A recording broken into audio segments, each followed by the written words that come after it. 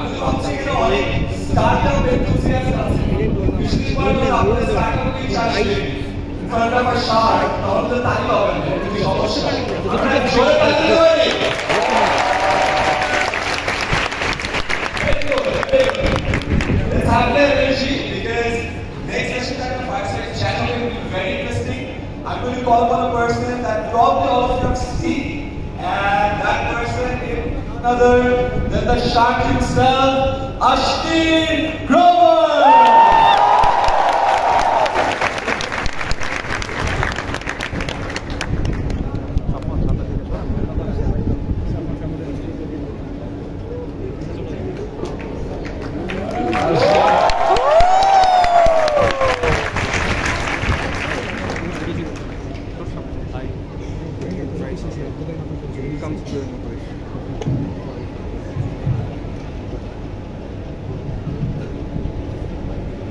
Awesome, guys. So, we have already got a lot of questions from you guys. There's a link at the background. There was a link at the background, yes, over there. You guys can put up your questions over there as well. We'll give it short, we'll give it crisp. I believe all of you have an idea what Ashneer have done in his life. So we will not get into too much of details, but Ashneer, a lot of them had the question. Like, what does Doglapan mean?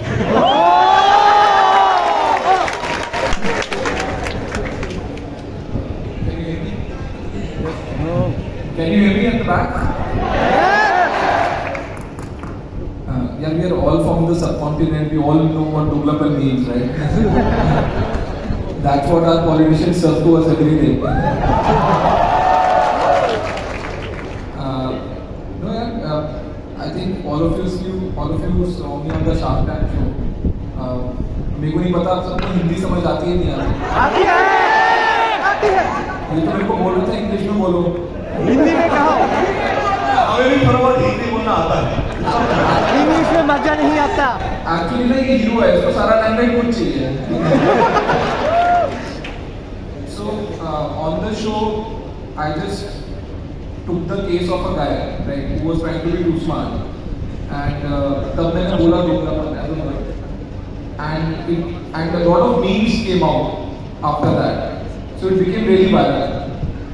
But I'm a businessman at heart. So what I did is I took that word Doglapan and I trademarked it. I didn't know where I'm going to use it, if ever. But I thought, okay, this is being associated with me. So it's a good branding opportunity, let me trademark it. So finally, when I was writing a book, uh, I had to come up with a word. And see, when the book is being sold, you have to think how is it going to get sold at the counter. So I could have called my book Kashmir, right? Then it would have been saying sir एक कश्मीर दे दो ठीक है या तूने कश्मीर को खरीद लिया क्या which which which didn't sound correct to me so I called it Doglapan so now people are saying भैया ये Doglapan दे दो so, so that's the story behind Doglapan So, Akshay, I think uh, you've tasted a fair bit of, a lot bit of money, a lot bit of fame, some bit of power as well, because power follows fame, money. No, which one tasted the most? And at this stage of your life, what do you aspire the most? No, I think, think both are important. Uh, and I don't think either is exclusive of the other. So, for all of us, success is material success. No one cares about any other form of success. If you have money, you are thought of as successful. Right? If your company is valued more, you're thought as more successful. If your company makes more profit, there's even deeper respect for your business. So end of the day, we all measure things by money. And my view is, it's not something negative. When you come from a very middle class background, your parents tell you, paisa cheap right? But that's not true. Uh, I think that is a problem in our our uh, society that we are made to believe that if you have money, you have something wrong.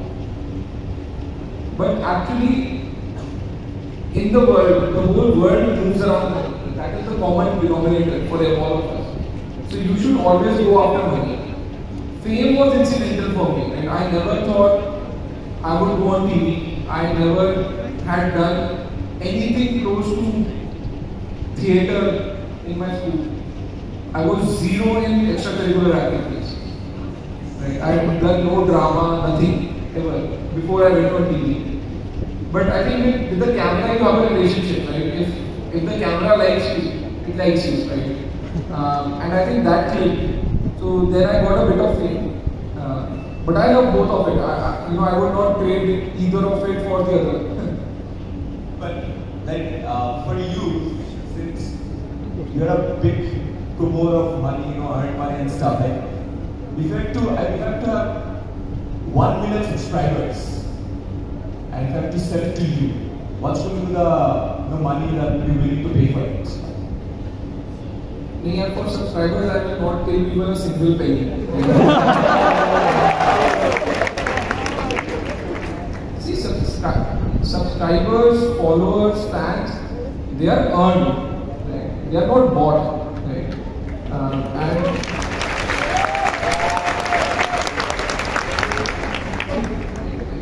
every day some agencies would approach me saying, you know, uh, we can get you so many followers. Then I, I keep telling them, you're not getting followers, you're getting me bots. Those are not real people. Those are people who will come and follow you for money. They will follow someone else for more money. Right? So there's no loyalty there.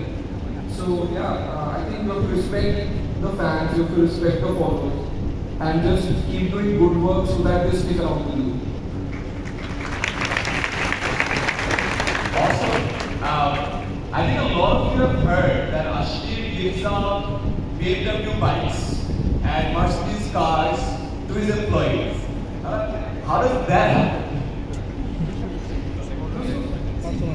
BMW bikes is a story. What happened in 2021? Um, I went to the US, and I went when I went to the US, I had 60 people six zero, and I went and raised, uh, I think a 370 million dollar single round, 370 million dollars. In a week, I had raised that and at, that was at a 2.8 billion valuation. So I come back to India and my team has become 40 people. So when I left India to raise funds, I had 60 people tech team. I raised huge amount of funds. The moment I land back, 20 people have gone. And the reason for that was 20, 2021 was a crazy year in India for doing startups. I mean, people were jumping to jobs like anything. Uh, a person who had joined as a fresher company at 8 lakh rupees jumped jobs two times in a and he was earning 30 lakh rupees within one year. That was the level of business. So when I came back, I asked my CEO what the problem was. And he said the problem is, you know, the headhunter takes the same CV to multiple companies. And you know, whoever gives the higher offer, the guy joins there. So there is no loyalty of the headhunter to us as a company. He's just acting like a broker. He's not acting as our agent. So then I asked them, what do we pay the headhunters? So the, I was told we pay the head headhunters roughly 15%. And an average tech guy was costing me 20 lakh rupees. So I was paying 3 lakh rupees for every person in the tech team to join me. So I came up with a, you know, on the spot idea. I just opened LinkedIn. I said, okay, 3 lakh rupees gets me a BMW bike. So I just put a post saying, any engineer who joins me will get a BMW bike. And it became viral overnight. It became so viral because I cut out the middle middleman. So headhunters went out of the picture. All the engineers started sending their CVs directly. Right? And the talk of the town became so you know a lot of other founders started calling me and saying, क्या रहा है because they said now what happens is a tech guy comes in he negotiates with me and end of the negotiation he will say तो bike नहीं दे रहा आपने दे हाँ, but see you to you have to play see the point here is capital does not win the game for you. What I did was something more second, in your mind it was playing at a second level. See, all young engineers, for their parents you are the future. So they believe they have taught you, they have got you a good education. Now is the time for you to earn. As an engineer, your aspiration is to get a good girlfriend. Right? to a super bike. In the college, that that's what most of us are aspire for. Now I can't get you the right? But I can get you the bike because what happens is, even if I get you three lakh rupees, you will not be able to convince your parents saying I want to buy a super bike because they think you will drive fast, you will get into an accident, and that's not what they want. But if I go and tell go back home and tell your parents, the company is giving you this bike. If you want, I, I won't take it. Then your parents would say, हाँ ले लो.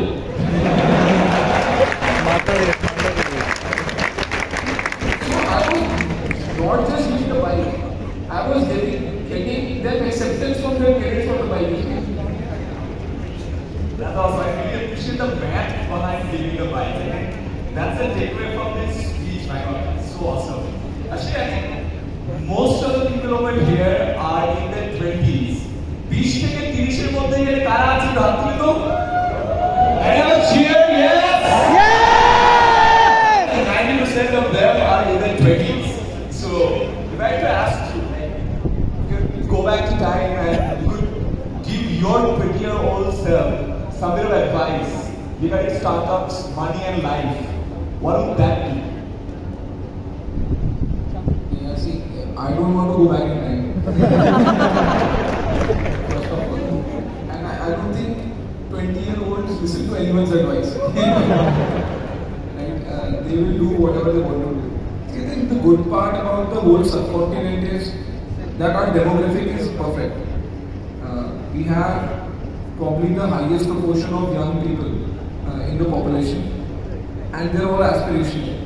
And therefore, the future for the subcontinent is bright, right? Because these people are going to try to make it big for themselves, and therefore make it big for the respective countries.